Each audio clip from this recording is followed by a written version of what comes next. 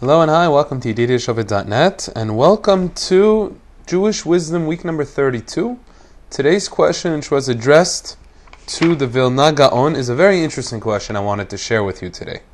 In short, it's basically about friendship.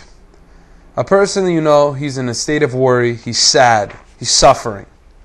And you want to know should I tell the guy, look, why aren't you believing in God? Why don't you trust in the Almighty that is going to take care of you? Is this something that you should uh, refrain from doing, or is it something you should push for? To maybe tell him that, look, if you have more emunah, if you have more belief, then none of this is going to go to a negative state, and it's going to ultimately be in a, for a good purpose. So, what should he do in such a matter? Is this the correct route, the correct guide, or not? So, the rabbi says something very interesting. Says, first of all, you have to understand when a person is in a state of worry, when a person is in a state of suffering, he's also in a state of depression. Now, when he's in a state of uh, depression, what he needs is not for you to give him a lecture.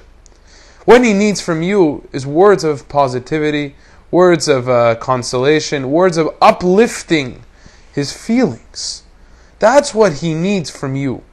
And how can you do that? For instance, you have someone who is worried. You go to him, you emphasize with him. You share his suffering.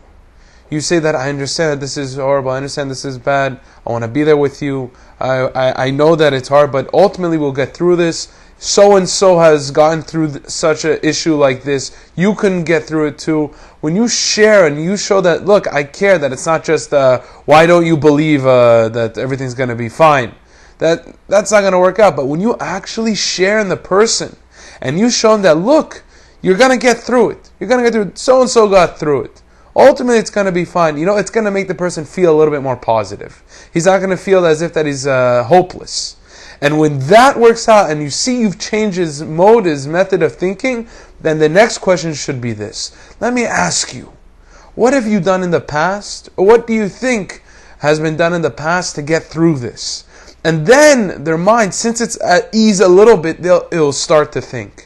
And you will have that ability, and they will have that ability together in order to get through it. And then do you know what happens? He comes out of that state of depression. He comes out of that state of worry.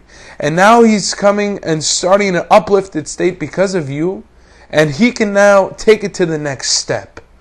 All because you didn't push him, you didn't lecture him, but rather you shared with him. So the next time you see someone is down, he doesn't need a lecture. He just needs a friend. He needs someone that shows his support. And ultimately, may all of us show each other support.